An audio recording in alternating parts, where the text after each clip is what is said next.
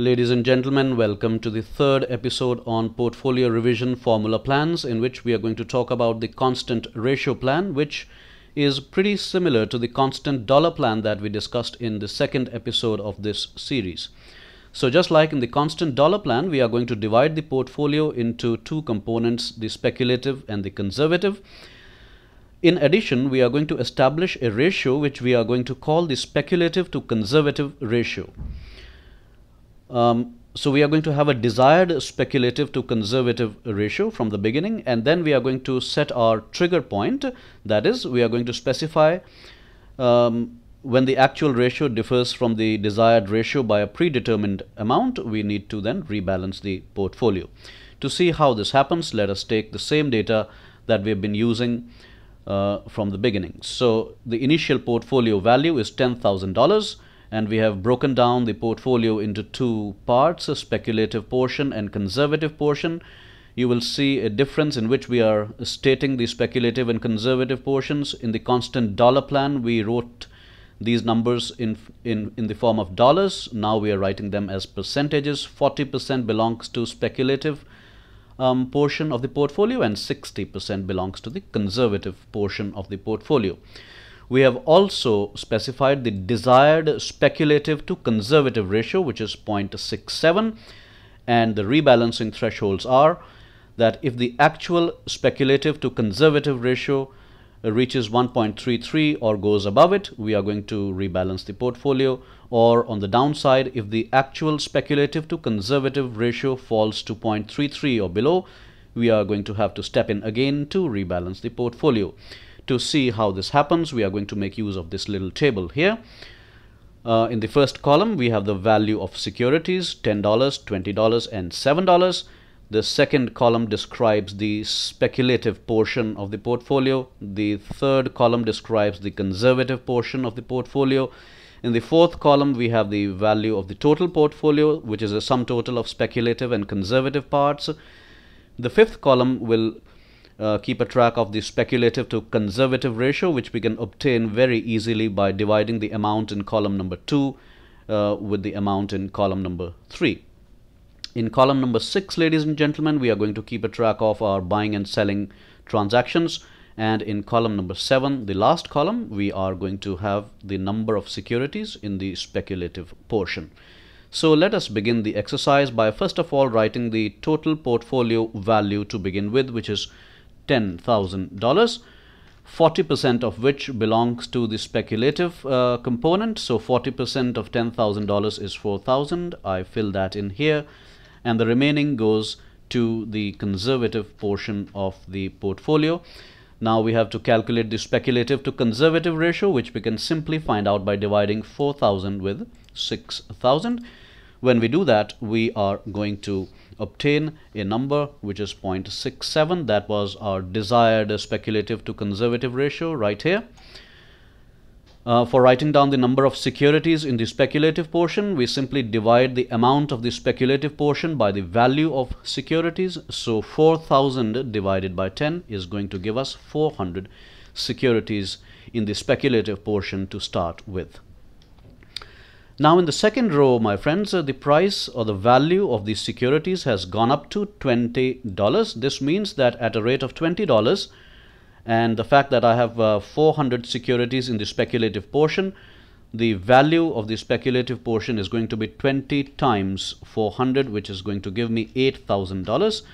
I also have $6,000 in my conservative section which is going to give me a total portfolio value of $14,000 but this will also mean that when I calculate the speculative to conservative ratio here I will divide the 8000 by 6000 which is going to give me 1.33 and I will immediately realize that I have reached a trigger point and I need to rebalance the portfolio.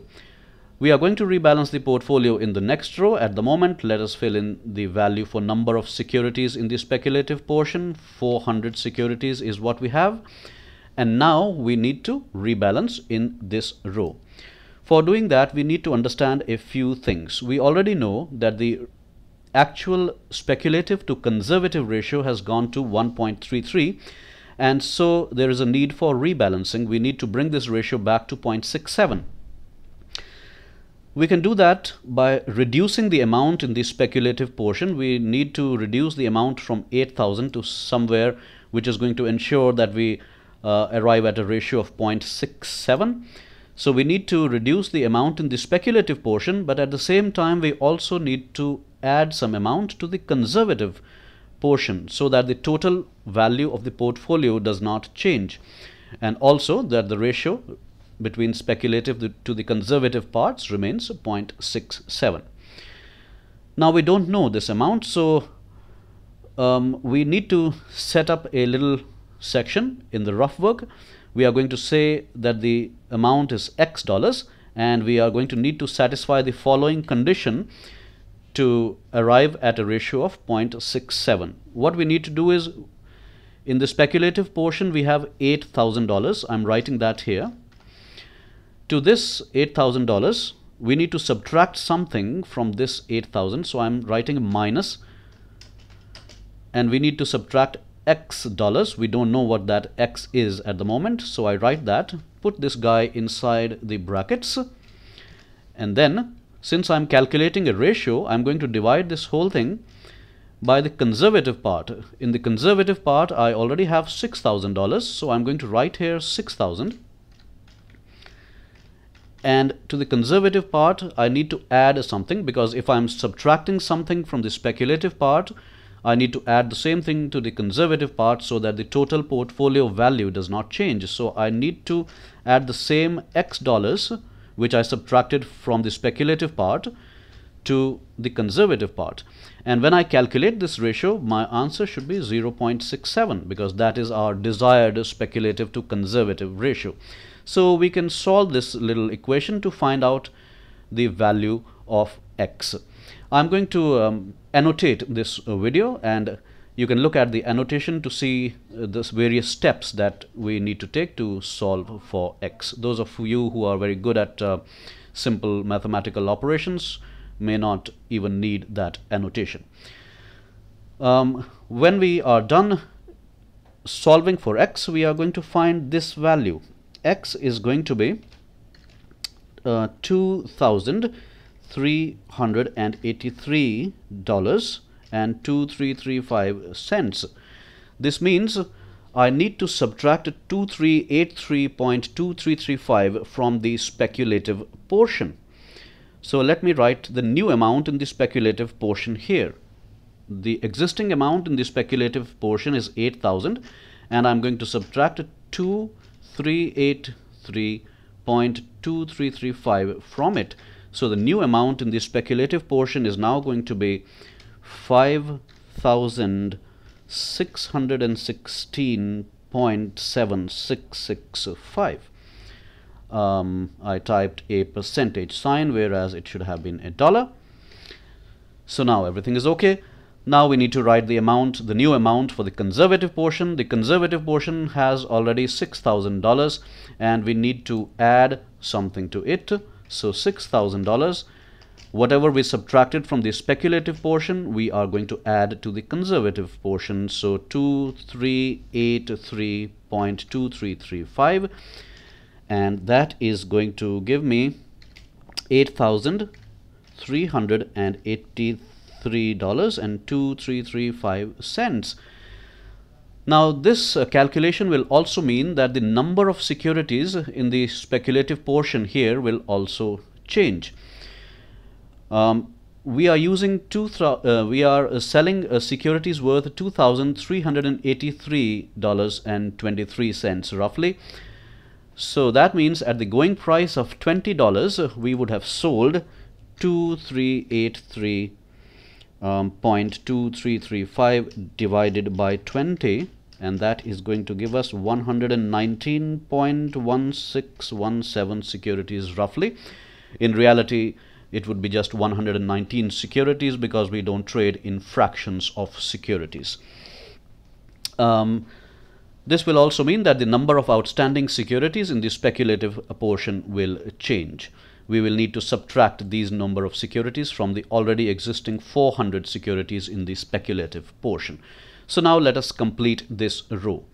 let us write down the new amount in the speculative uh, portion which is this amount here. So let us just copy this number from here and paste it at this place. This is the new amount in the speculative portion.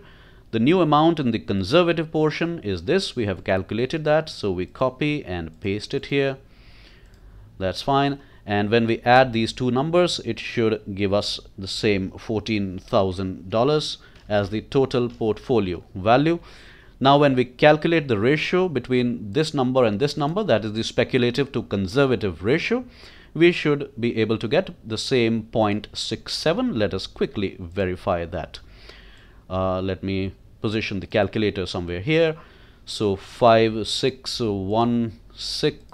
5616.7665 divided by 838 um, 3.2 2335 is equal to 0.670000 so we are satisfying the requirement. Let me clear the display and minimize this and write 0.67 here. That is what we wanted in our transaction column what we are going to write is sell these many number of securities so I'm going to write here 119.1617 securities and the new number of securities in the speculative portion will now be 400 minus this number here and that will give me 280.8383 securities remaining. Uh, ladies and gentlemen, I hope this was helpful for you. As your homework, try this. Try filling out these two rows of this table when the value of the security falls to um, $7 um, so that you know that you are um, doing your work correctly I'm going to announce the answers for uh, rebalancing of the portfolio when the security price drops to seven dollars um, you will need to add to the speculative portion and subtract from the conservative portion to 186.1667 dollars so that the new speculative amount will be 4152.0348 and the new conservative amount will be 6197.0668 that will mean that the new uh, that the number of securities that you are going to buy will be 312.3095 do that and see if you can get these answers. Um, for now ladies and gentlemen it's bye bye see you in the final episode of this series shortly. Bye bye